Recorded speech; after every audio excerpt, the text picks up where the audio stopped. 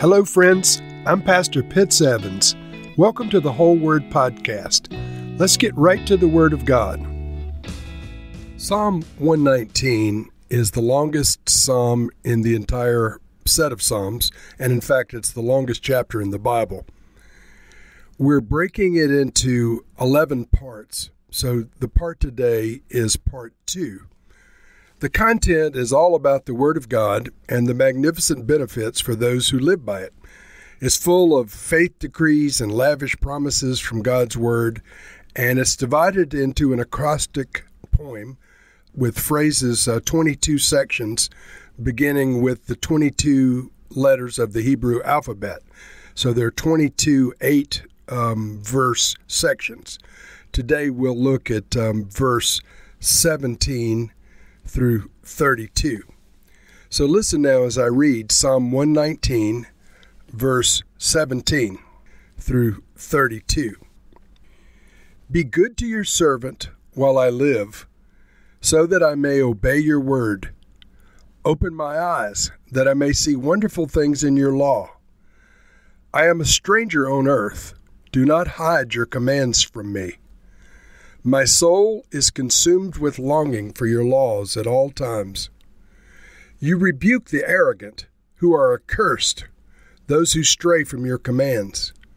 Remove me from their scorn and contempt, for I keep your statutes. Though rulers sit together and slander me, your servant will meditate on your decrees. Your statutes are my delight, they are my counselors. I am laid low in the dust. Preserve my life according to your word. I gave an account of my ways, and you answered me. Teach me your decrees. Cause me to understand the way of your precepts, that I might meditate on your wonderful deeds. My soul is weary with sorrow. Strengthen me according to your word. Keep me from deceitful ways. Be gracious to me and teach me your law. I have chosen the way of faithfulness. I have set my heart on your laws. I hold fast to your statutes. Lord, do not let me be put to shame. I run in the path of your commands, for you have broadened my understanding. Beautiful principles and maxims are put forth in uh, Proverbs like fashion.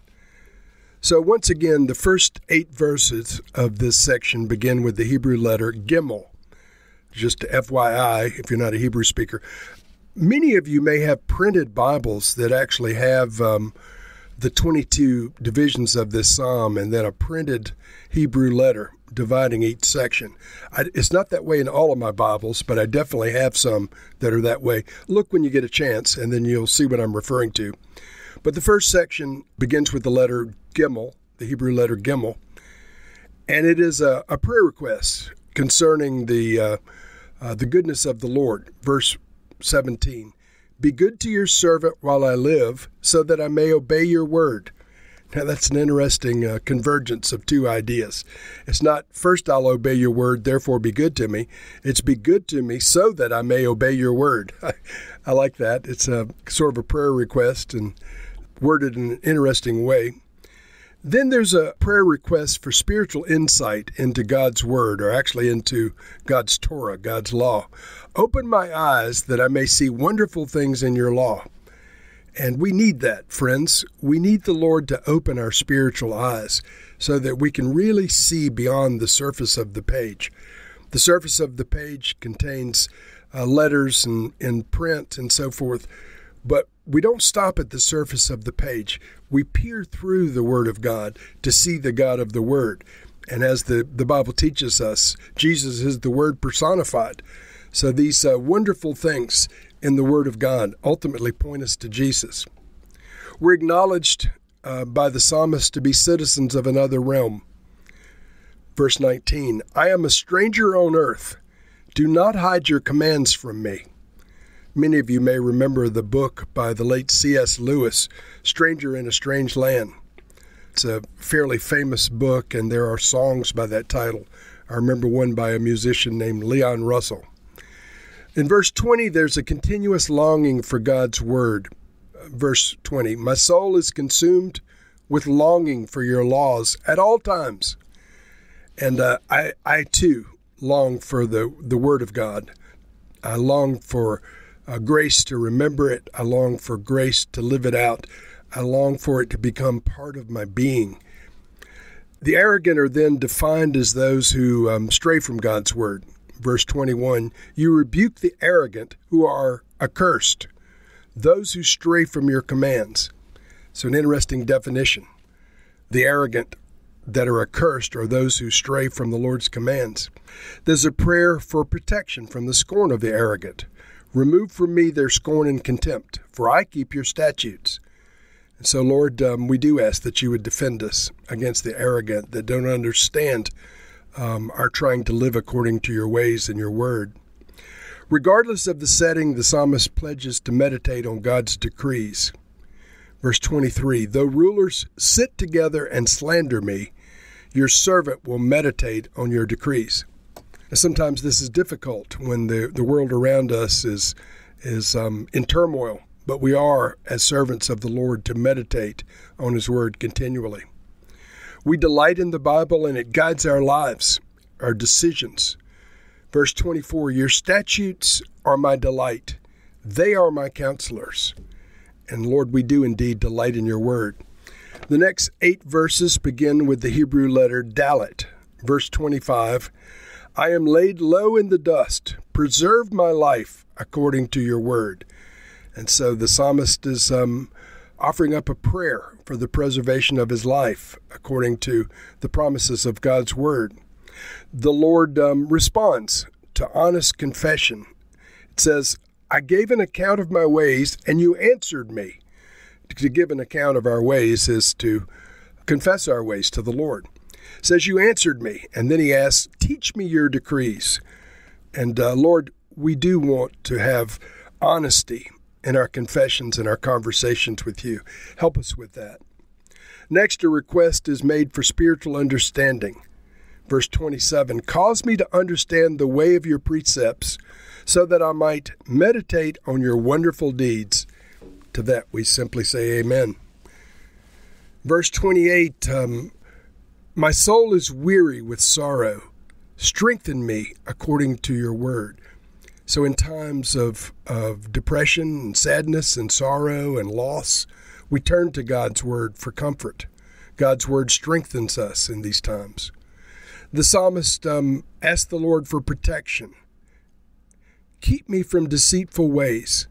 Be gracious to me and teach me your law. And Lord, we need your protection from being deceived. There are many deceivers in the world.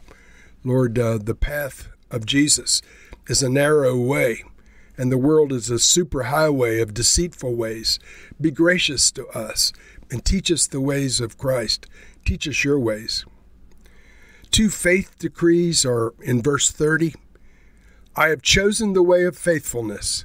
I have set my heart on your laws. May we do likewise, friends. May we choose the way of faithfulness. May we set our hearts on God's laws. Um, there's a prayer request Lord, do not let me be put to shame. I hold fast to your statutes. So, Lord, um, never let us be put to shame before God or man. Lord, we'll live in agreement with your word as you give us clear instructions how to do so. The psalm closes, um, verse 32, this section closes in verse 32 with these words I run in the path of your commands, for you have broadened my understanding. And we do.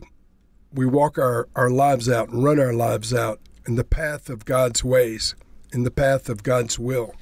And so, Lord, according to all these wonderful faith decrees and prayer requests, we ask you, Lord, to be good to us so that we may obey your word. Open our eyes so that we may see wonderful things in your law. Lord, our souls are consumed for longing for you and your word. Give us a greater hunger for us, Lord. Remove scorn and contempt from those around us toward us. Lord, help us to meditate on your decrees, no matter what those around us are doing or saying. Help us, Lord, to meditate on your word day and night. Help us, Lord, to know your ways. Teach us your decrees. Cause understanding to come our way, that we might understand and live by your words. Lord, be gracious to us. We love you, Lord. Show us the way of faithfulness. Lead us in the paths of life. In Jesus' name, amen.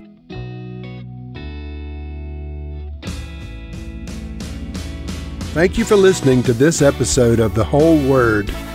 It was brought to you by Whole Word Fellowship and the Northern Virginia House of Prayer. If you were encouraged, please share our podcast with your friends. We'd also appreciate it if you'd hit subscribe in your favorite podcast app and take a few moments to write a review. If you'd like more information on our church and our ministry, you can go to wholeword.net or wholewordpodcast.com for more information.